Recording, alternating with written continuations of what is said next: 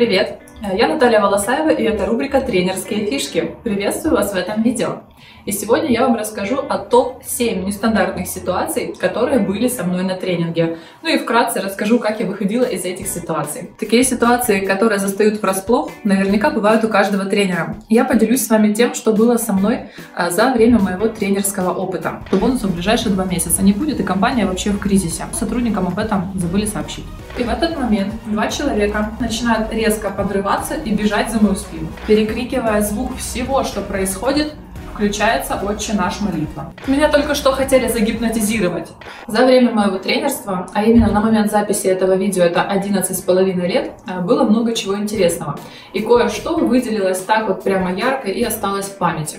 При этом, перед тем, как я начну вам рассказывать о своих историях, подумайте, остановитесь на минуточку, что такого необычного было у вас. Что происходило с вами, чего вы точно не ждали, не были готовы а, на ваших тренингах.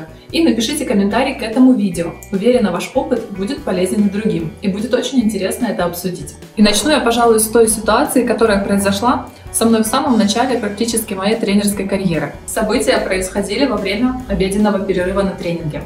Все участники ушли, и а, пришла одна девочка, которая закрылась в нашей тренерской и начала плакать. После нескольких просьб открыть дверь, и э, криков ее сотрудников о том, что, может, ей нужна помощь, она все-таки сжалилась над всей группой, открыла дверь, мы вошли и начали спрашивать, что произошло. На наши ответы она сказала, что ее только что уволили. Ей сообщили об этом по телефону, не объяснив никакую из причин, почему так произошло. И человек был в шоке, потому что очень сильно ценил и любил эту работу и на нее рассчитывал. Дальше происходило следующее. А, я предложила ей связаться с ее руководителем, но она сказала, что она только что с ним, собственно говоря, и говорила. Вот. А, при этом а, к нему, к руководителю, ехать она отказалась.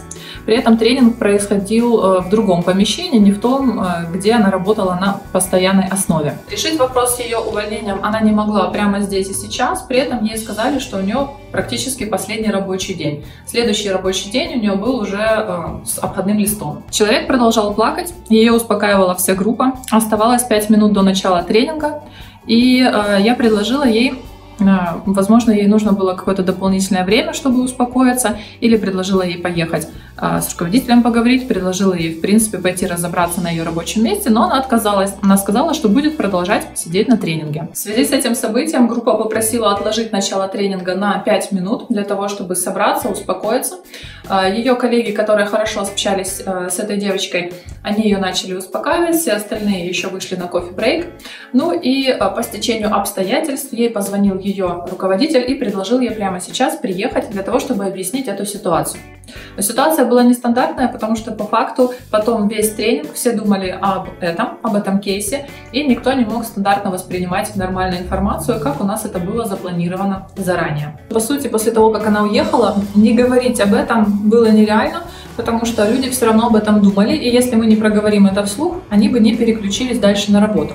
И так как тренинг у нас был по работе с трудными клиентами в продажах, с разными типами клиентов, мы взяли эту ситуацию и рассмотрели ее с точки зрения клиента. То есть немножечко поменяли парадигму.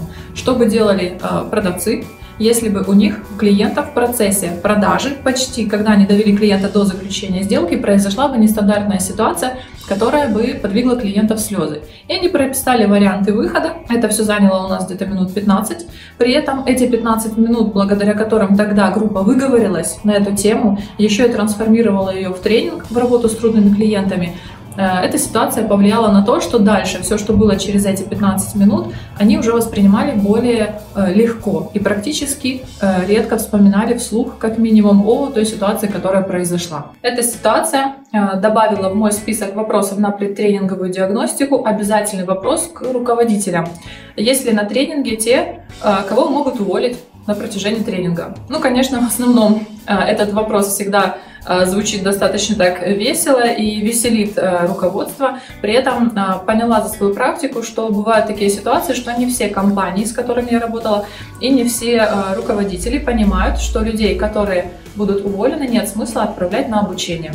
Потому что, по сути, компания зачем будет вкладывать в развитие сотрудника, если они этого сотрудника решили уволить.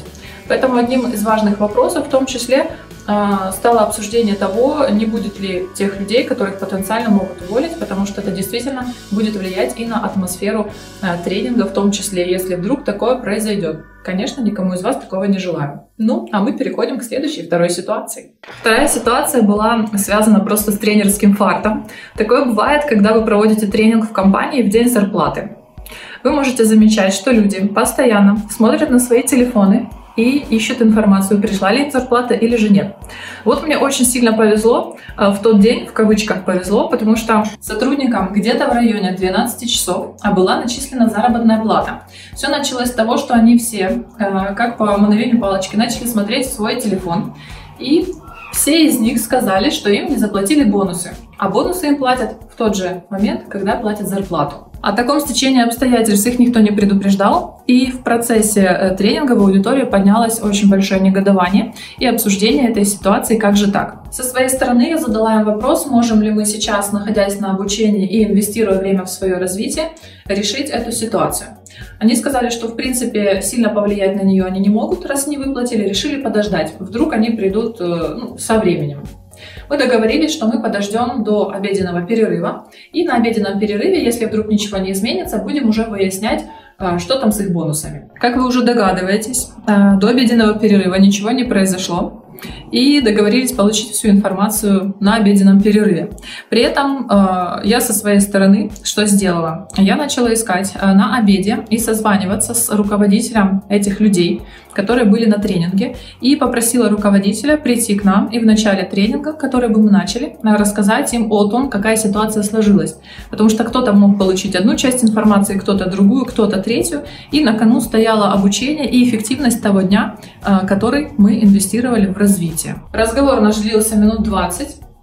При этом все-таки я убедила этого человека э, найти время, отменить встречу или сказать, что он придет там немножечко попозже, э, для того, чтобы уведомить сотрудников о том, почему им не начислили бонусы. Эта ситуация не разрулилась особо с его приходом на тренинг э, к нам, потому что Сказали, что бонуса в ближайшие два месяца не будет, и компания вообще в кризисе. Но сотрудникам об этом забыли сообщить. Вот в такую историю я вляпалась.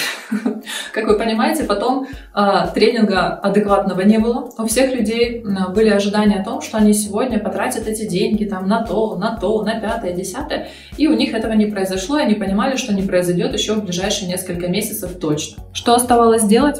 Оставалось их мотивировать и договариваться, чтобы время инвестировали именно в себя, в развитие и в повышение своих скиллов, несмотря на ту ситуацию, в которой оказались. С тренинга никто не захотел э, уйти для того, чтобы продолжить разруливать эту ситуацию. Все договорились, что все остаются. Мы сделали э, упражнение командное на взаимодействие, которое всех взбодрило, позволило немножечко переключиться, ну хоть немножечко. Вот. И это упражнение потом переключило на бизнес-реальность уже на тренинговую среду.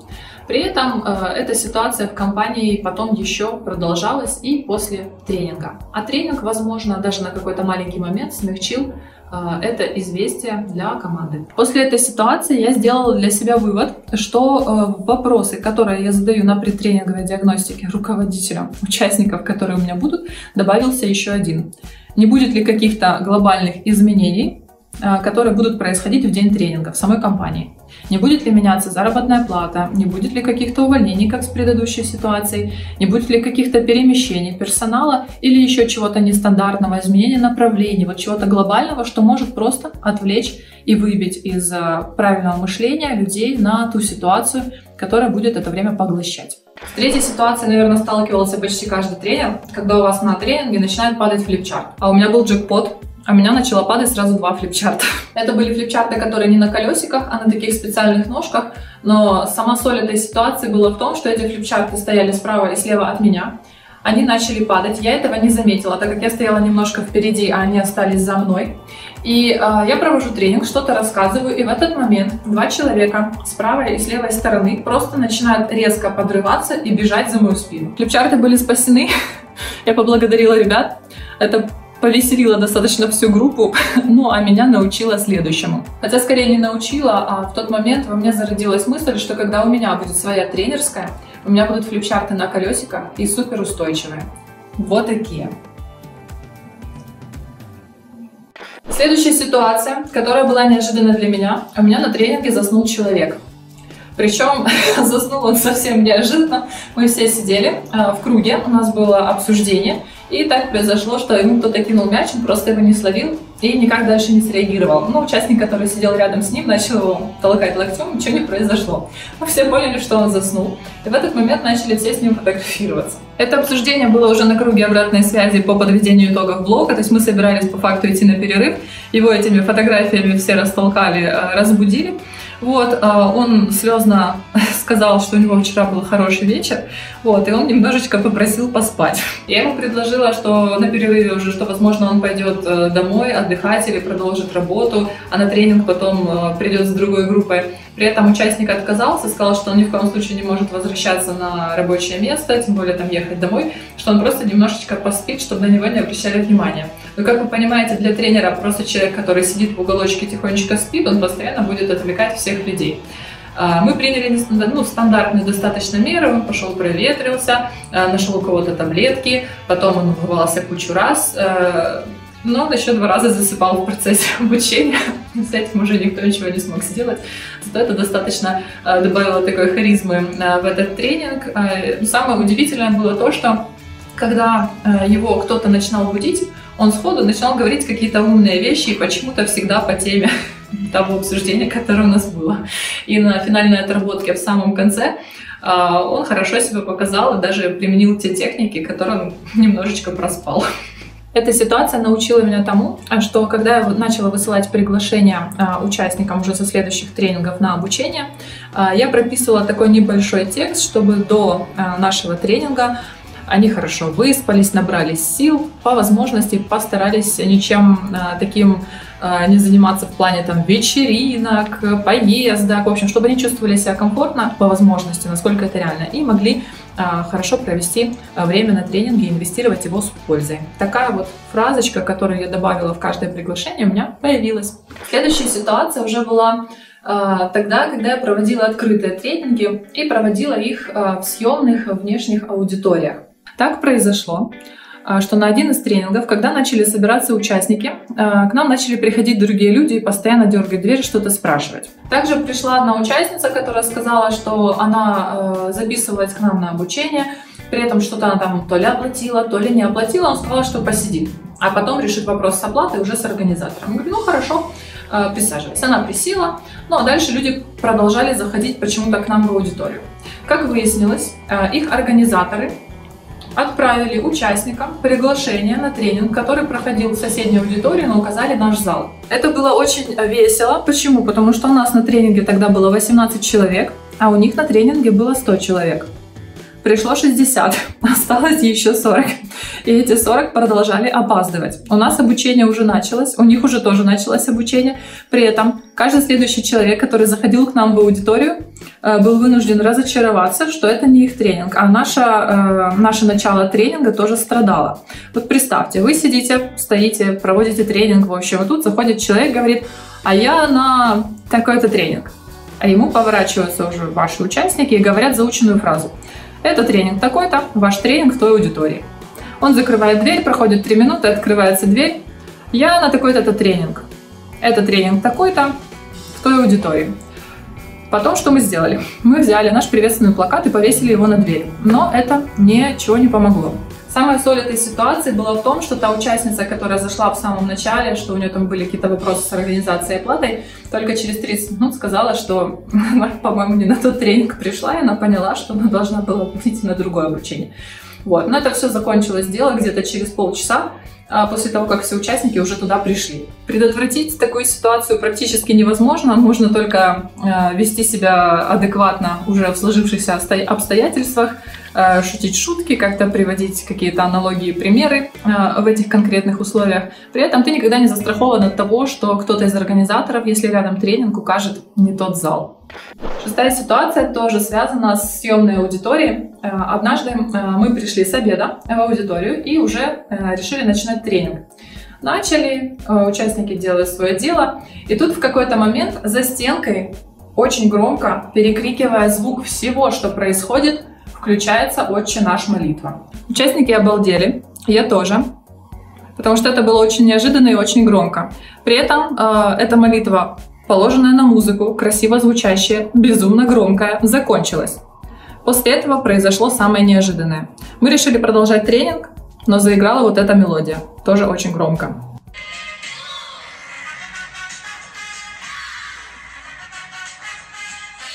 Очень хорошо, что после песни Буратино, которая шла после молитвы «Отче наш», э, больше никаких песен не звучало, и э, участники в соседней аудитории другого тренинга или что-то у них происходило, вели себя нормально. Но это было очень неожиданно, и никто вообще не понимал, что происходит. В общем, было так. Эта ситуация меня научила э, заранее общаться с организатором, всех мероприятий, которые происходят, и договариваться о том, что у нас будет вот такой вот тренинг, чтобы рядом в соседних аудиториях через стенку были аналогичные по характеру тренинги. Объяснила, какая ситуация у нас произошла, что все были, мягко говоря, в шоке. Вот. Э, ну и э, в будущем таких ситуаций не происходило. Тренинги за стенкой были тихими. При этом не тихими были перерывы. И следующая нестандартная ситуация, уже седьмая, э, такой себе хардкор, которая была, она была в этих же аудиториях. Э, нестандартный был в этом случае скорее перерыв. Что произошло? Участники ушли на перерыв, как обычно, а потом начали возвращаться с такими огромными глазами и «Наташа, Наташа, нам надо тебе что-то рассказать». Я говорю, что случилось? Меня только что хотели загипнотизировать. Что оказалось в результате? В соседней аудитории, вот наша дверь открывается, и тут еще одна открывается, был тренинг по гипнозу. И у них была практическая отработка. Они вводили людей в гипноз. И гипнотизировали они как в аудитории, так и в коридоре. И моим участникам, которые выходили на перерыв, предлагали, чтобы их загипнотизировали. Ну, в качестве отработки, конечно. Конечно, все отказались, чтобы их гипнотизировали. Мы начали тренинг, но гипноз остался за дверями нашей аудитории. При этом все так нормально повеселились, ну и удивились, что такое, в принципе, э, может быть, да еще и за стенкой. Чему научила меня эта ситуация? Ну, тому же, чему и предыдущая. О том, что нужно общаться с организатором, какие в этот день будут тренинги э, в соседних аудиториях. При этом сейчас уже такого вопроса нет, потому что мы работаем в своей аудитории, ну и эти все истории остались позади. Эти все нестандартные ситуации не накопились так вот каждый день, да, что-то такое необычное. Они были за 11,5 э, лет на момент записи этого видео моего тренерского стажа.